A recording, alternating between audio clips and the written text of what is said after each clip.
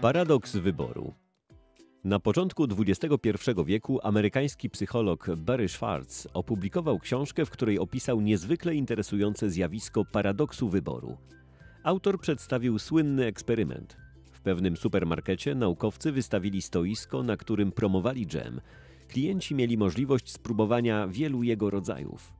W pierwszym dniu badania promowano sześć różnych smaków, w drugim 24. Co ważne, zarówno w pierwszym, jak i drugim dniu w ofercie sklepu były te same smaki do wyboru. Wyniki badania okazały się zaskakujące. Choć więcej osób zainteresowało się promocją, gdy można było spróbować któregoś spośród 24 smaków, to jednak sprzedaż dżemów była kilkukrotnie większa wtedy, gdy w promocji znalazło się tylko sześć z nich.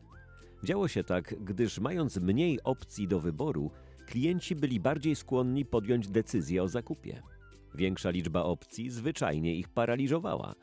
Gdy promowanych było tylko sześć smaków, klienci nie tylko częściej kupowali, ale też byli bardziej przekonani co do swoich wyborów. To właśnie nazywamy paradoksem wyboru, który może oddziaływać na wszystkie obszary naszego życia, od prostych decyzji dotyczących tego, co zjeść na śniadanie, a skończywszy na wyborze uczelni albo partnera życiowego. Im większy wybór, tym trudniej jest nam podjąć decyzję i tym mniej jesteśmy zadowoleni z jej efektów. Dzieje się tak, bo wybranie czegoś lub kogoś męczy, stresuje i zabiera czas.